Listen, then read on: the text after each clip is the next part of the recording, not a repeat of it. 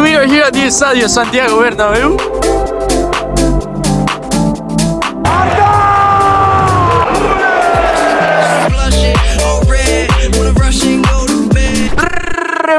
Remins! Welcome back to the channel. If you clicked on this video, you already know what we are doing. We are on the way to the Estadio Santiago Bernabeu for today's home match against Celta. To me, it should be a pretty straightforward win. The Leipzig game was four, the Valencia game was four, but today's an opportunity to bounce back. We are making some rotations. I read that Modric, Brahim, and Lucas Vazquez are starting, which doesn't worry me at all because they are all nasty at the end of the day. So I expect a good win. We are pulling out to the stadium. I hope you enjoy this video and I will catch you guys in there.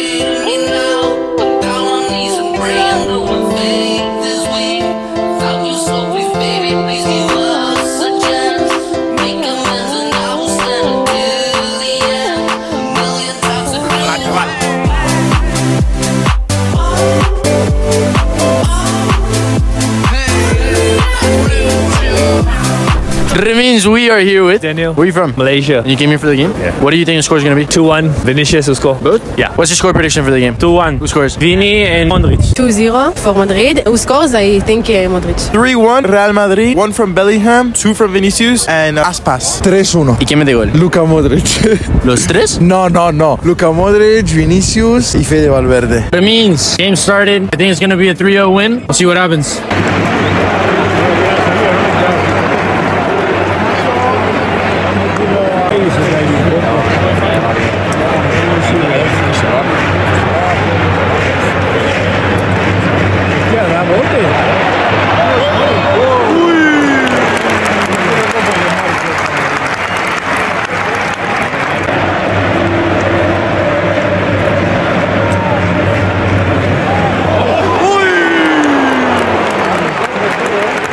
Good start to the game, but we gotta score.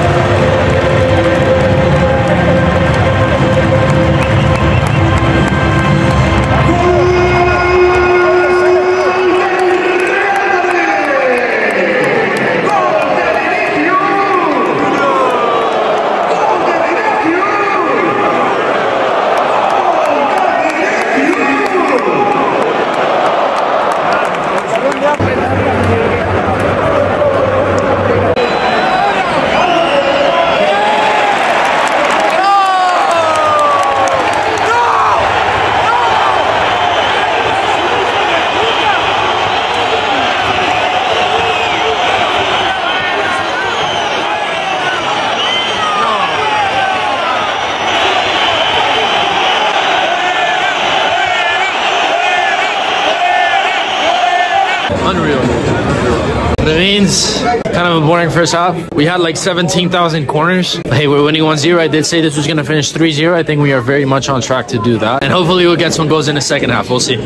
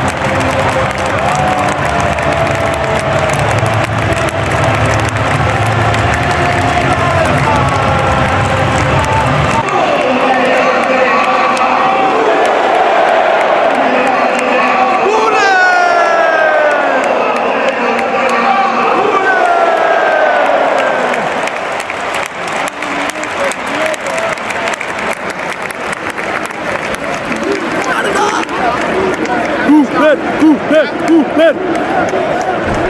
Remins! To be honest about yesterday's game, I did not like it one bit. You can definitely tell that Real Madrid are going through their worst run of form of the season. And even though we won 4-0, I don't think that the scoreline truly reflects how the game truly went. On the bright side though, Arda Güler got his first official goal for Real Madrid. He reminds me a lot of Mesut Ozil, who was one of my idols growing up. And I was happy for him. He suffered a lot of injuries this season. He hasn't had the chance to play that much. And listen, there's a lot of talk that he's going to get loaned out, but I believe in Florentino. I believe in what he is building with his team. So if Arda Güler goes out on loan, it could be the best thing for his development. But I have no doubt that Arda Güler's first goal yesterday will come down as a historic moment for the club. So even though I didn't like the match that much, Arda Güler definitely made my day. But it means if you enjoyed the video, make sure to smash the thumbs up button, subscribe to our channel, go follow us on TikTok, on Instagram. Links will be in the description. And with that being said, it means I will catch you guys next time. Peace!